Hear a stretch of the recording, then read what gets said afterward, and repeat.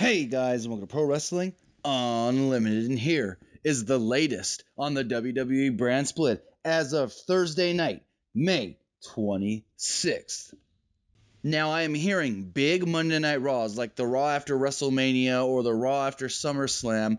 We will get SmackDown guys on Raw, but they're not going to really integrate much. It's just going to, we're going to get some SmackDown stuff on there because those are always the biggest shows of the year. Also, at pay per views, we will have two separate announced teams. Raw guys will announce the Raw matches, and SmackDown guys will announce the SmackDown matches. As of right now, we do know that JBL and Michael Cole will do Raw, Jerry Lawler and Mauro Ranallo on SmackDown, but we don't know who the third person will be, whether they put Byron Saxton on Raw or whether they put Byron Saxton on SmackDown and who they could add to fill that third spot on either show.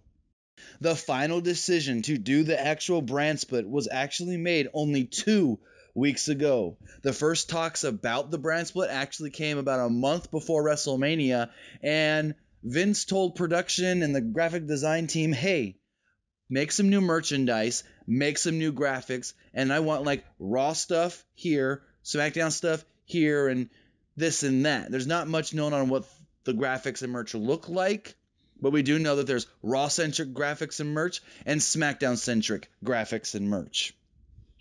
Also, it is looking very possible right now that the SmackDown World Champion, we told you, Vince already has in motion when, where, how, and who will be that world champion. And it is looking as if that title will be fought for and the champion will be crowned at Battleground. As far as NXT and guys being called up for this brand split, it looks by SummerSlam we will get 5 to 10 at least.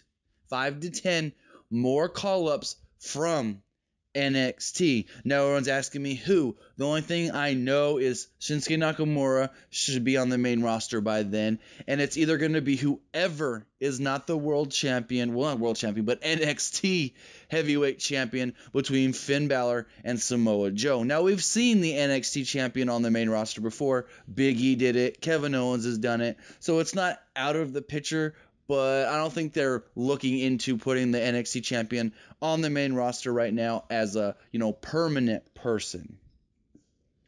Finally, some people ask me, are the referees going to be split? Are the referees going to work just everything? No. As of right now, there will be a SmackDown crew and there will be a Raw crew for referees. Everything's getting split right down the middle. These guys centric to Raw, specific exclusive to Raw. These guys centric exclusive specific to SmackDown.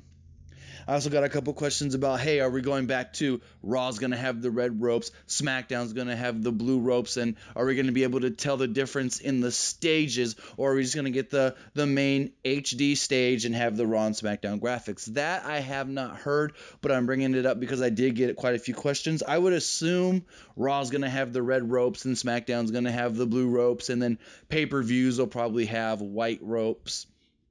But this is what we know right now as of Thursday night, May 26th. If any more news does come up on the brand split, which is to take place, the draft, July 11th, live on Raw from Detroit, Michigan, we will bring it to you here on Pro Wrestling Unlimited. Remember, guys, comment below, like, and share this video. Like us on Facebook, and subscribe here on YouTube.